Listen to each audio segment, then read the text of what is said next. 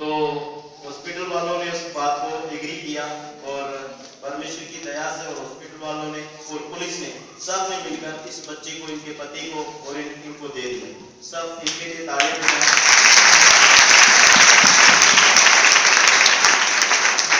तो जब ये घर पे लेकर आए तो मुझे फ़ोन किया और बोला मास्टर जी ऐसी बात हुई है। तो कालू भाई ने फ़ोन किया ऐसे एक घटना सामने आई है। तो मैं तुरंत उनके मेरा घर इनके इनसे साठ किलोमीटर दूर है।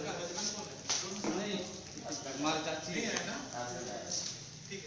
तो इनके वहाँ पर आराधना रखी तो प्रार्थना किया। जब इसका वज़न देखा तो बिल्कुल नौ सौ छः सौ छः सौ ग्राम। वज़न था इसका। और इसका मतलब इसको बिल्कुल संभाला नहीं गया था पेट में केयर नहीं की गई थी। वैसे ही मतलब 600 ग्राम कोई वज़न नहीं है। तो हमने देखा कि कैसे बचेगी। और लोग तो सब कह रहे थे, ये बचेगी नहीं 500 ग्राम आधा किलो की है 600 ग्राम है कैसे बचेगी? तो हम सबने दुआ किया कि परमेश्वर अगर आपने हमें दिया है तो ये लड़की को कुछ होना नहीं चाहिए। और परमेश्वर ने हमारी दुआओं को सुना, कितने छह में हाँ। हाँ सोलह तारीख को ये सात महीने की हो गई हालेलुया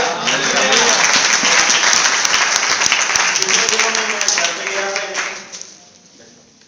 तो पिछले दिनों में मैं कालू भाई के घर पे गया तो वहाँ का सरपंच आया और मेरे को बोला आप धर्म परिवर्तन करवाते हैं इनके घर पे आराधना थी और और इनके गाँव का सरपंच आकर मेरे को बोला कि आप धर्म परिवर्तन करवाते हो आप ऐसे काम करते हो जो धर्म के विरोध में आप हमारे लिए धर्म परिवर्तन करवाते हो तो मैं डायरेक्ट इनका घर बिल्कुल नज़दीक है, मैं इस सरपंच साहब को उठाया और काफ़ी लोग भी थे मेरे साथ, मैंने इस बेटी को पास लेकर गया।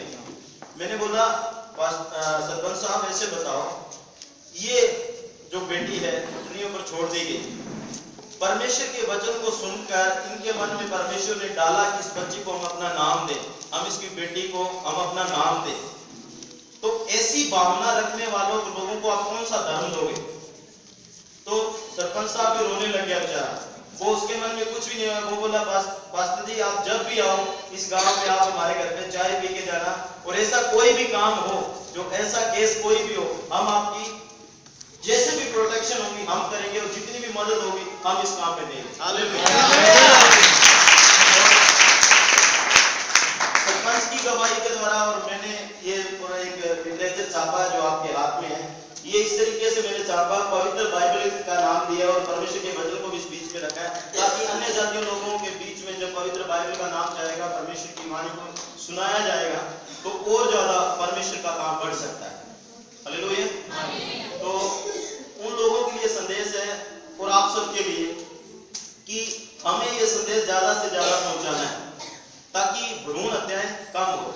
लड़कियों का आज भी समाज में बहुत ज़्यादा इज़्ज़त नहीं मिलती उनको। तो उनको हमें क्या करना है? एक एक साथ इकट्ठा करके आगे बढ़ाने की कोशिश करना है। हालेलुया। और ताकि लड़कियाँ सम्मानजनक स्थान तक पहुँच पाए। लड़के लड़कियों में कोई भेद नहीं है परंतु भ्रूण हत्या के मामले सबसे ज़्यादा लड़कियों के लिए आते हैं। कोई लड़के को नहीं मारता है। जब लड़की हो जाती है, तब उसको फेंक देते हैं। तो ज़्यादा से ज़्यादा ये मामले लड़कियों के लिए आते हैं। तो आप प्रार्थना करें, जब पेट में बच्चा पैदा होता है तो वो एक आत्मा है, एक शरीर है, एक प्राण है। उसको बचाना हमारा उतना ही कर्म है, कर्तव्य है जितना एक वयस्क के लिए। जितना मेहनत हम 20 साल पर करते हैं 20 साल के आदमी को जितनी मेहनत उसको स्वर्ग तक पहुँचाने में करते हैं, उतनी ही मेहनत हमें उस एक साल, एक दिन के बच्चे के लिए भी करनी है।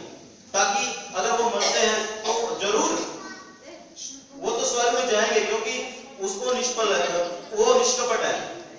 उसमें पाप नहीं है। परंतु जिन्होंने पाप किया है, उनको कत्ल का, खून का लेखा देना पड़ेगा। तो ताकि वो दोनों बचे, ऐसी हम प्रार्थना करें और भ्रूण हत्याएँ कम हो, राजस्थान में बहुत ज़्यादा है राजस्थान में, आप बीकानेर साइड में, ऐसे ऐसे इलाकों में देखोगे, बादरा साइड में तो बहुत ज़्यादा है। आप इन इलाकों में देखोगे तब भ्रूण हत्या के इतने मामले आते हैं, इतने मामले आप इन के लिए प्रार्थना करें और हमारे लिए प्रार्थना करें कि हम इस संदेश को ज़्यादा से ज़्यादा फैला सकें। सबको जय मसीह